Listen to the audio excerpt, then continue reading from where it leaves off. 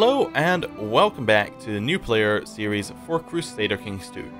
So, last time we went and set up everything so we are ready to unpause the game right now. What are we expecting to pop up? We're expecting the council support to pop up from the people who are going to vote with us to change our laws so we can get primogeniture succession. And we're expecting our uh, court physician thing to pop up to say, okay, we found a court physician for you. So we're going to unpause, we're going to go at speed uh, 2 right now. In top right, we're at we're two ticks. We will go at speed 3. So it's going to go relatively slowly, just through the days. There we go. We got a whole bunch of events. Let's start with the first one. My liege, your wisdom and mercy are legendary. I will support you in the council. Great, he's going to support us. Right, next one. Scouts bring word of a mystic blind man who supposedly works miracles. He appears in villages and cures all manner of ailments afflicting the peasants. There are even rumours he made a lame man able to walk again. The peasants call him Albert the Blind. A gift of gold would convince them to join your court. So, Albert the Blind, right here, is somebody we can get to join our court.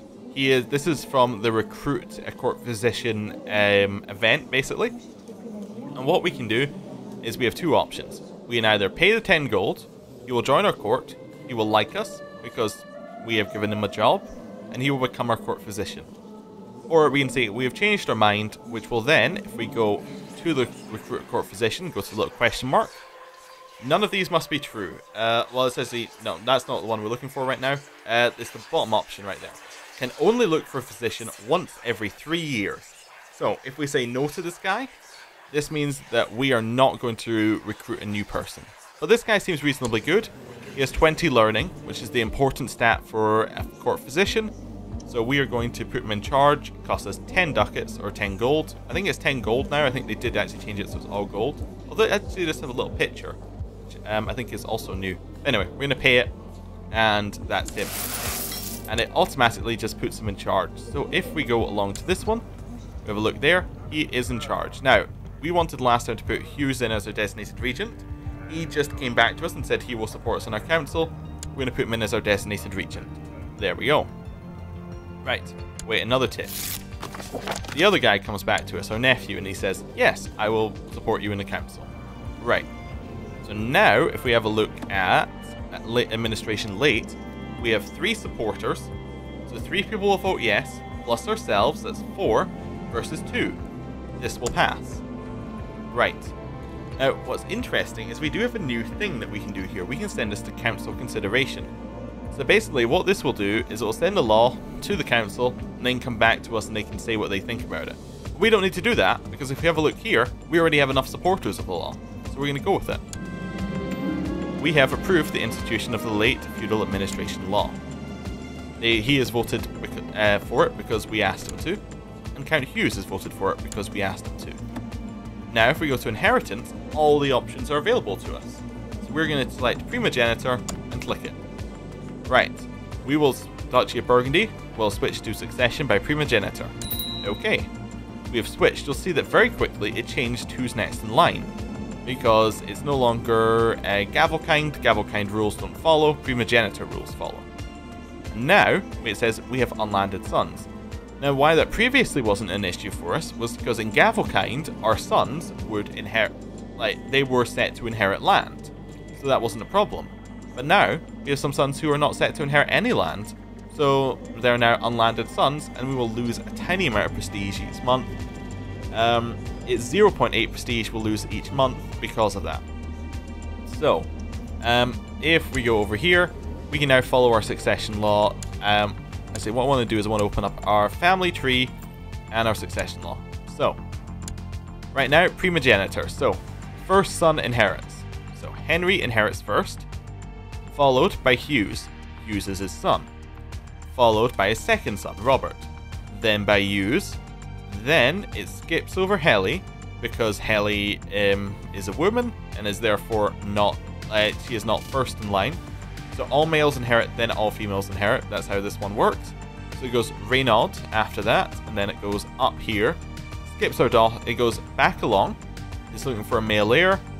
Skips our daughter, goes on to Robert. And then after that, the next one would be Simon. And then if we follow succession law from there, it would go back along. It should, I believe, go back along to Hell after that. or Heli, then to uh, Beatrix, but it might go to Constance, then Ored, then down to those two.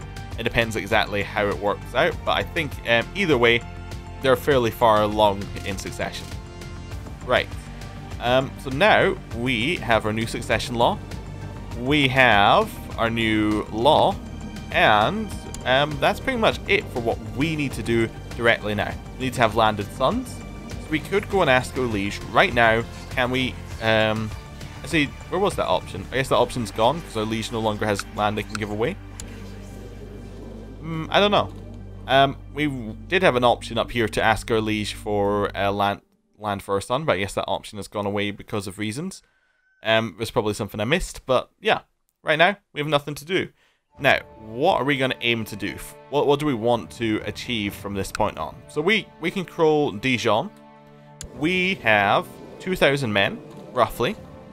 Who would we want to attack? Well, maybe somebody nearby us. So I'm going to switch it into direct vassals mode by control left clicking France. We'll see, we have a couple of these people. So we have uh, Duke uh, Theobald of Champagne, who controls all of that land. So he's probably not a good target we have Count Sens. He controls this one province. He's probably a reasonably good target for us. We, that might do well in our realm. And then we have Count um, Etienne of um, Bourges. Is that Bourges or Bourges? So that he controls that land. And then we have this one next to us. This is um, our king's land. Probably not best to try and attack him for it. And then over here, we have the Duke of Aquitaine, um, who controls all of this land. Probably not best to attack him for it either, because he's fairly strong. And then if we wanted to, say, go east, we would have to attack the Holy Roman Empire, and that's not going to happen. So, uh, Son, probably, post Sens, but Son is probably the one that we're going to attack. Um, it has 1,000 people. Now, what we do want to check is in our Duchy of Burgundy, I'm going to click this little button that says de jure. So if you're wondering how it got here, little shield opens up this, uh, the little shield opens up this menu, click de jure, shows us what the Duchy of Burgundy should have in it, what we have rights to have. And it's actually what we have, directly. So that's fine. It, we de jure have all of our land, so we have no actual claim to Sens, uh, to Sens right now. So what we might want to do is we might want to go and fabricate claims on it. So, uh, that means that we need to send our council over there, and that's going to take a year for a councillor to be free to do that. So what we're going to do is we're just going to zoom out a little bit. We're going to unpause the game. We're going to speed it up a little bit. We're just going to sit back, relax, and wait for some events to pop up. Oh, so what you see here is all these little armies popped up. And down in this corner, you'll see that we are now in a war. So somebody, our liege, probably just started a war. Let's have a look at what war started. The Holy Roman the Holy Roman French de jure war over Zealand. So, left hand side, I believe, is attackers. Right hand side is defenders. So we are being so our liege, the defender, our nephew, with 11,000 men, is being attacked by the Holy Roman Emperor, Kaiser Henrik, with 18,000 men. So likelihood is, oh, I should also change the map mode back. There we go. Uh, likelihood is that Kaiser Henrik is probably going to end up winning this war.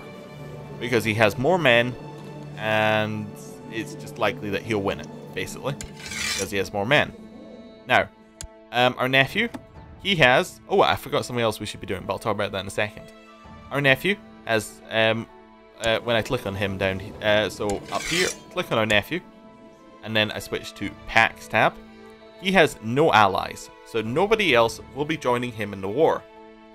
Now, if I go to Kaiser Henrik and go to the same tab, we'll see that he also has no allies. So nobody will be joining him in the war. So what this means is that it's just a straight fight between Kaiser Henrik and liege. So he's probably going to um, lose this land. So, what's the land?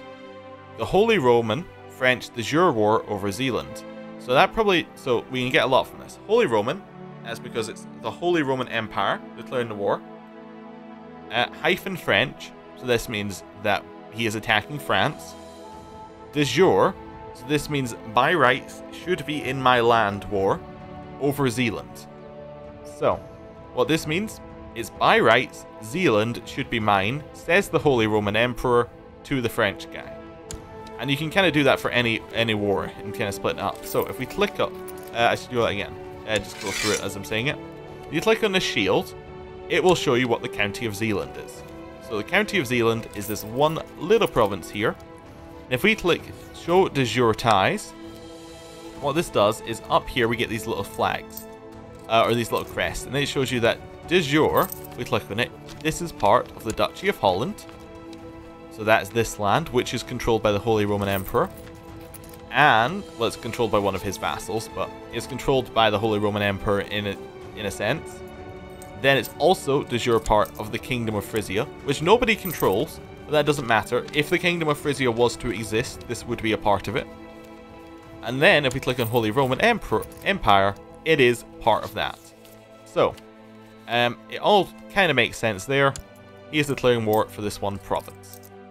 Uh, I think England is also at war, so we can probably do another split up here. So, um, if we have a look, if we hover, if we click on one of England's provinces, we can click on anyone. Like say we clicked on this one, we can do the same thing. Um, we can see that England is defending against Duke William the Bastard in Norman Conquest. Now this is a special war because this is a event-driven war basically. This is one that will always start on this on uh, like the same point every single game. In 1066, the Normans will declare for England because um, that's what happens in real life. And at the same time, he is defending against uh, King Harold in the Norwegian invasion. So this is um, another thing that will always happen at 1066 in the game. So basically, um, those two things have different naming conventions because those are event-driven wars rather than them being a war that the AI has declared by itself. Like these are things that have been kind of hard-coded in. Right. So, um, the other thing, I did say there was something else I forgot to do, which you may have remembered, but and if you did, well done. If we have a look at our packs tab, we'll see that we have some people in here. We have the Duke of Barcelona, and we have the Duke of Flanders, and I said we should get alliances with them, so that's what we're going to do. First of all, we're going to click on the Duke of Barcelona, we're going to see what wars he's in. So we clicked on him, we'll see in diplomacy, it will show you the wars. He's attacking Emir um, Ahmed of the Hudid Emirate in the Barcelonian Holy War for Barcelona. So, what we get from here, Barcelonian, obviously Barcelona is clearing it, Holy War for Barcelona. So, um, he's declared a Holy War. Holy Wars are a war where basically um, it's obviously against a different religion. Uh, that's the Holy War part and it's something where uh, he's declared for a duchy level title or a duchy level amount. He declares for all land within a duchy, so that's generally like four or five bits of land. Um, but in this case, we can probably assume that given that he is the Duke of Barcelona, he's probably declaring for like the remains of a duchy that he does not yet control. And um, it also means that anybody of its of the same religion can join in and help out. So basically, it's like um, if France, if well, in this case, Barcelona, right here is declared a holy war on uh, the Hudids. So that's this guy. So um, if he was, given that he's declared this war, it might be that the Dunanids are like, hey, I don't want these Catholics coming in here. I'm going to join your war. Something like that. So that's um, basically what this is. So if we become his ally, he will likely call us into this war. Now, that's he had this guy has 3.6k troops roughly. If we have a look at the Hudids, they have 2.16k troops. So they're likely to so Barcelona, assuming nothing else changes, is likely to win the war. So we are fine joining Barcelona uh, Barcelona here. We would very much like to be in part of his war. Well, we wouldn't necessarily want to be part of his war, but we're not we don't have a problem with it. We're happy to sit back and let him have his war. So, we'll offer to, uh, not offer to join war, we'll form an alliance with him. He will say yes, because we have, he likes us, we have similar interests in that, um, well, just in general, similar interests. The AI has different ways of working that out, and then he has a base reluctance, which is negative 3. So basically that means he has 3 reasons not to do it, But because we have same interests and he kind of likes us, he'll do it. So we will get this alliance. Right. Next guy is the Duke of Flanders. Duke of Flanders up here is currently in our war because he is also a vassal of our liege. So we are going to form an alliance with them. Now, if we have a look here, he will say yes, but he doesn't like us as much. He has the same interest though. So it's got three reasons not to do it. He's got three reasons to do it. And you'll be like, wait, doesn't that mean that they can't, they're kind of cancelled out? Why, why is he saying yes? Well, sometimes he'll also say no in this situation. Because basically, these little pluses, they don't mean anything. These pluses mean that they are in a range that gives them one. And when they get over the next range, that'll give them another plus. So basically, he's probably like 3.1 reasons for, and then, you know, 3 reasons against. So that's why this is showing like that. But yes, if it says yes here, like 99.9% of times, this means yes. So unless something changes between you clicking this button and uh, him deciding, this means yes. Right, so we're going to get another couple of vassals. Now, what you might be asking yourself is, why don't I raise up all of my men? I have 2,000 men. I can go and help my liege. This means that he will have 13,000 troops against the 18,000. Surely this would be better. Well, here's the thing. It's not our war. This is something you have to kind of get into your head when you're playing this game. A lot of things aren't my business. So, say that the Holy Roman Empire wins this war. He will take this province up here of Zealand. Now, I mean, it's kind of bad for France. It's kind of bad for our liege. It makes him a little bit weaker. But overall, he's taken this small amount of land it's not that big a deal, right? So it doesn't really make our leash that much weaker. It doesn't make the person that we're serving that much weaker. So it's not like his he's to fall apart. But what if he does fall apart? Why is that bad? Is that bad for us? I mean, we're reasonably strong. We're a medium-sized person. If we broke free from France, we have several options then. We could maybe pick apart France's corpse. Like, we could uh, rise up. We could take all of that land. We could be in, the new person in charge. Or, we could swear fealty to the Holy Roman Empire. We could move on to a more powerful leash. We could have a better protector. We'd have more room for expansion. We could expand from within the Holy Roman Empire, and that could give us more options. Holy Roman Empire has elective monarchy, so we could potentially become in charge of the entire empire. Like, there is a lot of reasons why we don't necessarily want to help out. I mean, even in our allies' war, if our ally was to lose this war to the Hudids, I mean, our ally doesn't lose any land. He's a little bit weaker for a while. He has less men. He's maybe not as rich as he used to be. But if we send no men over to our ally, like, it's not going to change anything for us directly, except that we're going to have less men. Our men are going to have died. We're going to have, we're going to be weaker. We're going to be a weaker target for other people to attack. There's a lot of self-preservation things that need to be thought about in this one. So basically, our Liege's War, we 100% do not care about our Liege's War at all, apart from the fact that um, the Holy Roman Empire may send men to siege our lands. But he's not going to, he's going to send men to Zealand because that's what he wants. And that gets him war score. If we click down here, we'll see that there is a thing called war score. And basically, achieving the war goal, that will get you what we call ticking war score. So we, we can't hover over it because nothing's happened yet, but um, Basically, ticking war score is a thing where it's I have the objective, so therefore each month that I hold the objective, I will get a point towards the war.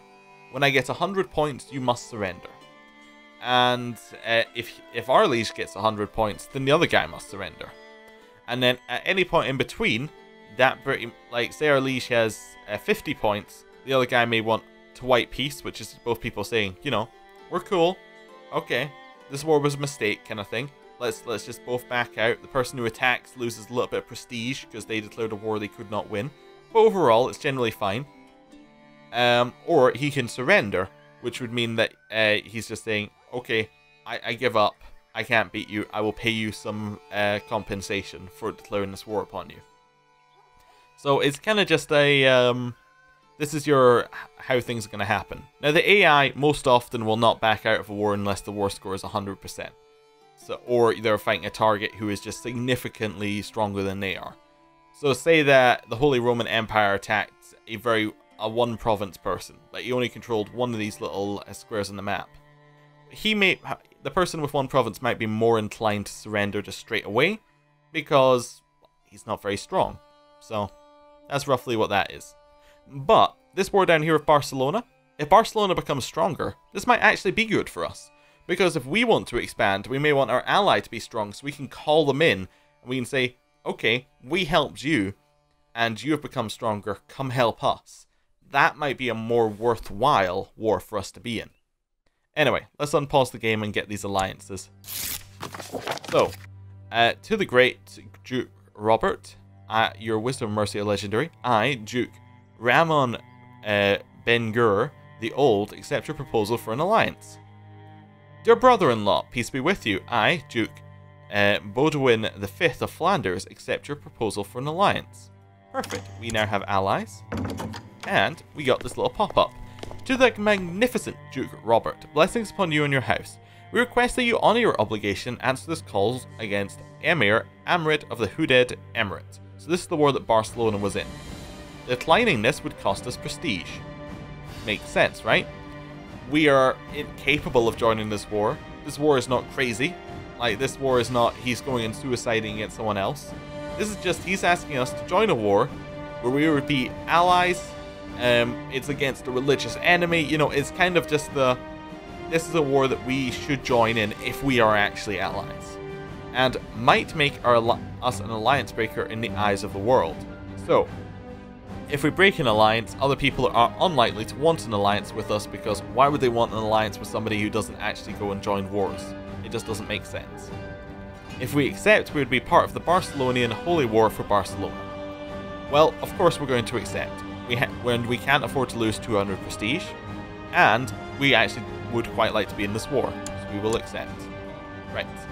Um, I am going to end the episode here. Thank you for watching. I'll see you next time.